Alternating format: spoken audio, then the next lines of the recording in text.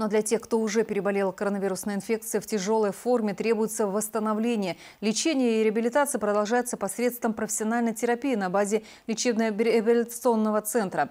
Работа медиков направлена на устранение последствий от COVID-19, восстановление утраченных сил и функций организма. Альбина Ламкова продолжит тему.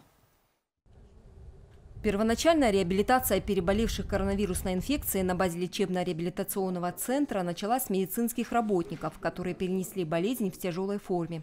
Эта инициатива исходила от главного врача учреждения Бориспи Темрезова. Результаты по их восстановлению в условиях дневного стационара прошли успешно.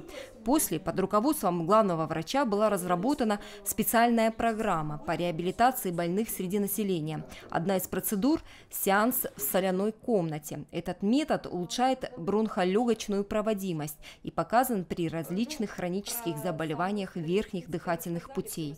Больные сюда ходят с удовольствием, но поскольку нам нужно соблюдать дистанцию, Э, загруженность этой комнаты бывает э, на один сеанс где-то не более двух-трех человек максимум. В реабилитационном лечебном центре есть все необходимые условия. Это высококвалифицированный персонал и благоустроенные палаты. А для диагностики и лечения больных здесь предусмотрены и кабинет ультразвуковой диагностики, и кабинет спирографии. Это один из основных методов исследования в пульмонологии и терапии для оценки функционального состояния легких. Э, спирография э, – это метод исследования скорости выдыхаемого воздуха и жизненной емкости легких. Вот, показывает нам значит, функциональную активность э, бронхолегочной системы. Также в центре предусмотрен кабинет компьютерной томографии, где специалисты проводят необходимый объем исследований. В настоящее время объем, конечно, работы увеличился в связи с эпидемией. Наш реабилитационный центр сейчас занимается реабилитацией постковидных больных.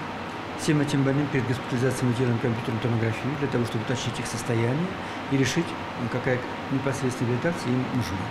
Продолжительность бесплатного восстановительного лечения в реабилитационном центре длится 14-16 дней. Коечная мощность – 180 мест круглосуточного стационара и 11 дневного.